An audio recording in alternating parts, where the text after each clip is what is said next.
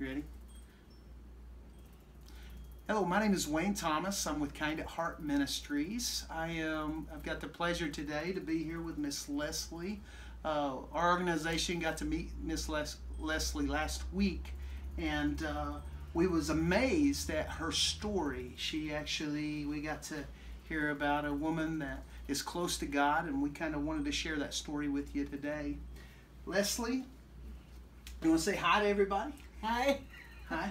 Well, Leslie's story actually, she's been, uh, she has cerebral palsy and she's lived here in our community for about 17 years. But she has a big heart and she's really close to God.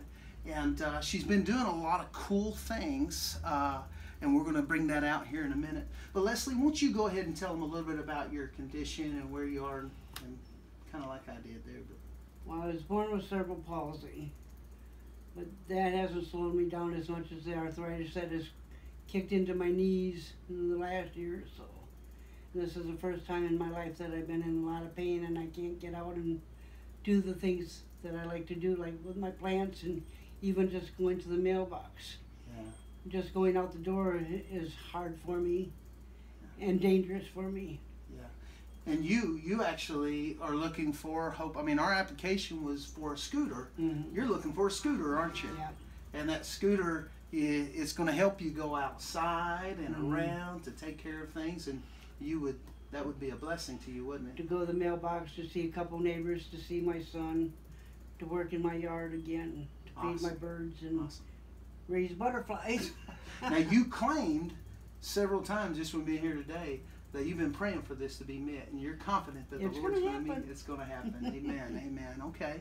Well, uh, just a little bit. I wanted to. She actually has these blankets. And last year, how many blankets did you make? Last year I made 50, but the first year I made 150, and that was about three, four years ago. Okay. And you send these to where? The American Legions picks them up for the disabled veterans. Oh wow! So you got a mission to make so many of these a year. Yeah. And she also has a card here, a Dayspring card that she actually writes in here, and she's already started. Uh, uh, thank you for your service. Have a very merry Christmas and blessed New Year. So she started her her production for Christmas coming up, and so she's got these blankets. They are just beautiful. She makes, and then she has these this little hat here. Tell me a little bit about that hat. The baby hats are for the preemie babies in the hospitals, and I sent them from hospitals to, from Tulsa to, Little Rock. Okay. And how many did you make last year? Last year I made 300. 300. Ain't that awesome? And then you have this hat. Then I made, I think, over 100 of those hats last year. Oh, wow, wow. And 50 of them went to St. Jude's, 10 went to the veterans, and then 10 to other places. Wow, wow, that is so amazing.